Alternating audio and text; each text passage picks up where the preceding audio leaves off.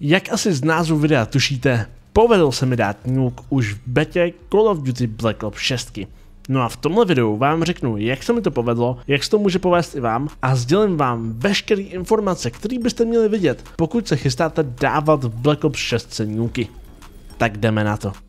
Určitě v tomto videu řeknu spoustu věcí, které už dávno znáte. Každopádně úplně nevím, jak udělat video, aby to bylo dobrý jak pro úplného nováčka a zároveň i pro někoho, kdo hraje Call of Duty třeba 10 let. Takže pokud už vám řeknu něco, co už dávno víte, tak pardon, ale snažím se to udělat pro obě dvě kategorie.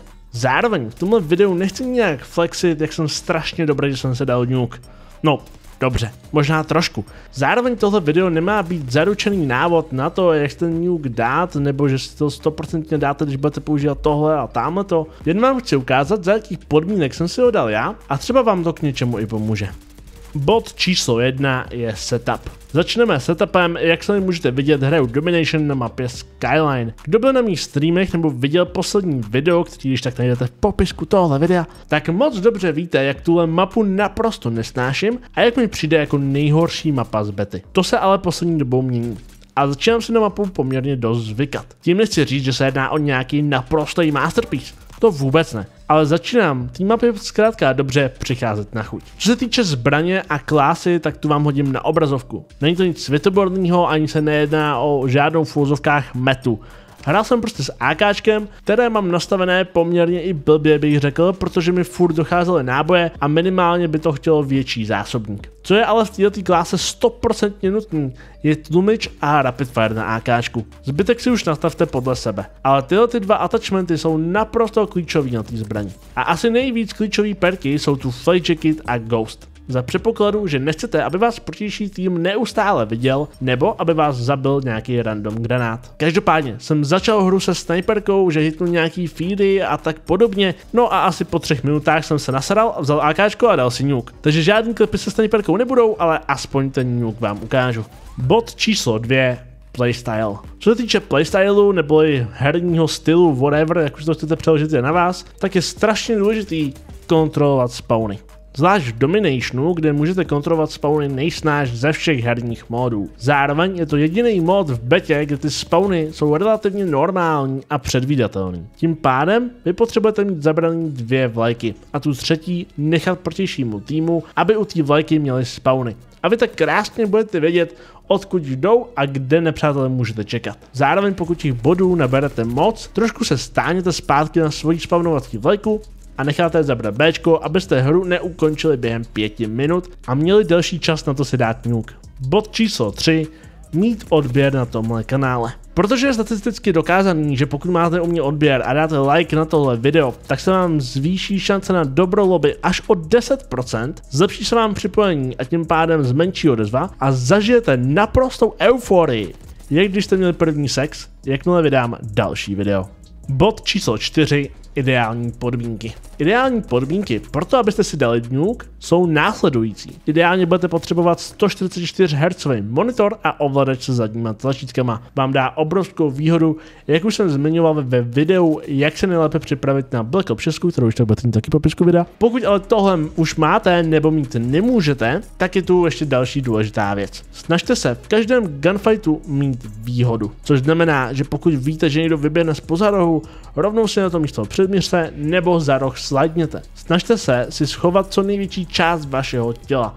Ideálně headglitchovat, nebo aby vám byla vidět jenom vaše hlava. Po případě pokud nestihnete ani jedno z toho, tak zkuste během většiny gunfightů buď to skočit, nebo naopak si lehnout, aby nepřítel z vás neměl tak snadný cíl. Pátý bod matchmaking. Bodem číslo 5, který zmíním, tak je SBMM neboli Skill Based Matchmaking a jestli vůbec ve hře potažmo v betě je. A rovnou vás musím zklamat tím, že řeknu ano je. A je docela silný ale dá se poměrně lehce rozbít. A to, když hrajete s někým, kdo nemá takové statistiky, minulou hru se mu nedařilo tak jako vám a tak podobně, zkrátka dobře, potřebujete někoho, kdo tu hru neumí hrát tak jako vy. Já mám výhodu, že mám jednak přítelkyni, která je sice šikovná, ale není ani zdaleka na takový úrovni jako já a nemůže se rovnat na proti kterým hraju já. No a zároveň mám i druhou konzoli, na které může hrát. Takže nebylo nic jednoduššího sehnat si kód do bety na PlayStation 5, já měl betu vlastně z Game Passu na Xboxu, no a jakmile hrajeme spolu, tak ty lobby vypadají tak, jak můžete vidět v gameplay na pozadí. Hrajete s lidma, který se sice umí trefit, ale zároveň i s lidma, který netrefí jediný svůj cíl před sebou. Takže v tuhle chvíli se skill-based matchmaking dá rozbít, nebo spíš bych řekl, že skoro nefunguje, pokud hrajete ve dvou protože hra se za každou cenu snaží najít lobby, která by odpovídala průměru obou dvou hráčů, ale vůbec jí to nejde. Nebo takhle, pokud jste vy ten, co má větší skill, tak si to hraní neskutečně užijete, protože hrajete normální lobby. Ten druhý už ne tolik. Ale pokud máte mladšího sourozence nebo kamaráda, který je naprostý no-hand, hrajte ideálně s nima. Protože ani po tom, co já jsem si dal první nuke, mě to nenapojilo do lobby, kde by byli sami najeťáci. Další hru jsem měl 46 na 7 a tu hru potom 42 na 5. No a pokud nemáte kamarády, tak je tu takový ještě menší trik, který asi možná všichni znáte. A to je ten, že se stačí 6 až 7 her po sobě po mapě pohybovat jak totální bot a schválně střílet okolo lidí místo do nich a sem tam někoho zabít, aby se neřeklo. Jakmile těch 6 her odehrajete, hodí vás to do lobby, kde přesně budou hrát takový lidi, jako jste vy hráli poslední hry. No a tam ten nuke už dáte velice snadno. A přesně tuhle tu variantu dělají zahraniční youtubeři pořád. Že schválně chodí po mapě jako totální boti, 5 až třeba 10 her po sobě a až potom jdou na nuke, až to třeba schválně natočí jako live gameplay, aby byly za totální frajery. Je to prostě reverse boosting, akorát trošku jiný, že se úplně nezabíjíte, ale děláte za sebe vlastně bota, no a hra podle toho taky hledá hráče. Takže pokud vidíte zahraniční videa jako jeden nuke, druhý nuke, třetí nuke a tak dále a tak dále, tak používají z 90% tuhle metodu. Což mi přivádí k šestýmu bodu a to nuke nerovná se skill. To, že si dá někdo nuke, včetně mě, pro mě to platí taky, neznamená, že je ve hře nějak extra dobrý. Jako ano, potřebujete být asi víc než nadprůměrný, abyste si nuke dali, abyste byli schopni v víceméně každé situaci někoho zabít, ale vždycky, naprosto vždycky, je to jenom o tom, koho máte v týmu a proti komu hrajete. Protože pokud máte normální tým a proti sobě no-handy, nebo lidi, kteří to naprosto vůbec neumí, tak si užijete i sebehorší díl Call of Duty na sebehorší mapě a nuke si dáte relativně snadno. Chtěl jsem trošku poflexit, že se mi povedlo dát nuke už v betě, což se mi ještě nikdy nestalo a možná vám trošku pomoct k tomu, jak si ho dát taky.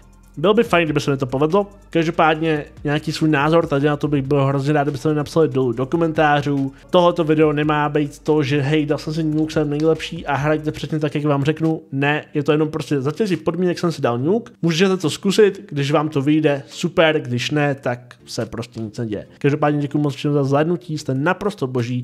Mějte se krásně, nezapomeňte dát like, odběr a tyhle všechny věci, po případě i sdílet a jo, Mějte se krásně. Zatím čus.